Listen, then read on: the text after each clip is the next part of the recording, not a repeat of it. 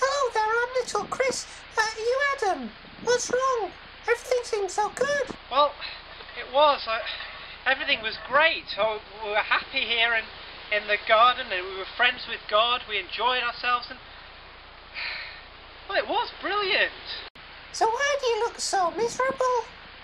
Well, like I say, everything was great, but then well, then we decided to disobey God and do things our own way. We wanted to be in charge, and well, we ate some of the tru- fruit from the tree that uh, God had said we shouldn't do, and well, He got really angry with us. Oh, so that's why you look so sad.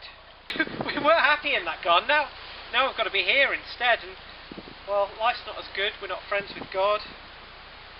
It's hard work. I think we need him to rescue us so we can be friends with him again. So do you think God will save you? Well, he did mention that he might send somebody who might be able to put things right for us. But I don't know who it's going to be, and I, I don't know when it's going to happen.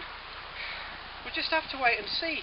Do you think maybe your time travellers could find out how God might rescue us and who he's going to send? Do our best. We'll, we'll try really hard. Brilliant. Well, I'll see you later then. Thanks, Adam. I hope that rescuer comes soon for you. Thanks. Bye, little Chris.